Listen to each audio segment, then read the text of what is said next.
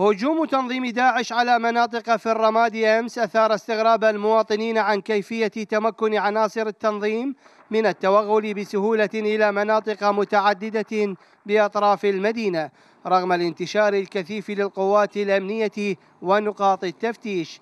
مطالبين القوات الأمنية بتعزيز قطاعاتها وإعادة النظر في خططها الأمنية.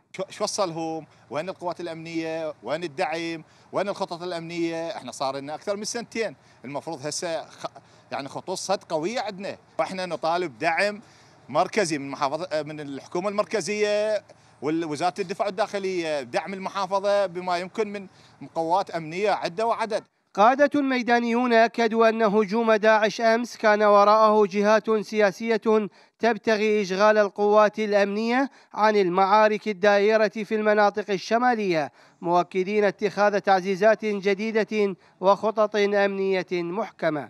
استطاعت قواتنا بتعاضدها ما بين الشرطة والجيش والحشد من تحقيق نتائج لن تحصل لها سابقا قتل أكثر من 70 واحد تدمير أكثر من 23 عجلة من خلال قوات التحالف وطيران الجيش والقوات اللي ذكرناها هنالك تعزيز وإعادة انفتاح قطاعاتنا بالشكل اللي يأمن واللي يضمن تأمين حدود محافظتنا من الخارج إن شاء الله.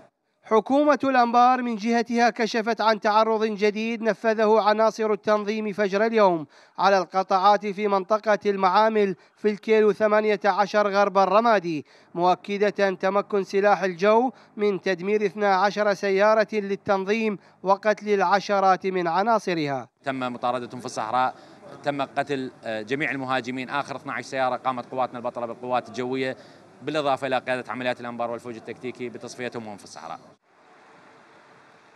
وتبقى التحديات قائمة أمام القوات الأمنية بمختلف صنوفها رغم إحباطها لهجوم داعش يوم أمس مما يتطلب المزيد من الدعم لها وإعادة النظر بالخطط الأمنية الموضوعة.